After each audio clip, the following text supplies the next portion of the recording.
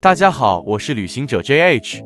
年底某券商发起股市时光机活动，我借此分享下今年的投资心得。我在二零二三年的收益率已超过百分之八十，相比年初的预期，虽有惊喜，但也符合对所持股票的长期预期。如果说超预期的，可能是股价兑现的时间，但时间往往也是最难预期的。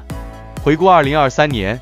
我操作最失败的股票是 Fanu，在七八月份从两百二十八回落至一百四十三的过程中，做出止损操作，造成该股上的盈利大幅回吐。